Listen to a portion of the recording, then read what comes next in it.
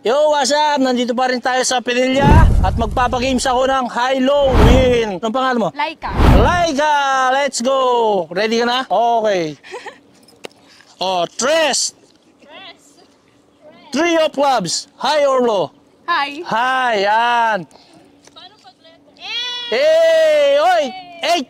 Meron na siyang 20 pesos. Oh, high or low? Low. Low! Napakaling ni Laika! Eh, meron siyang 40 pesos.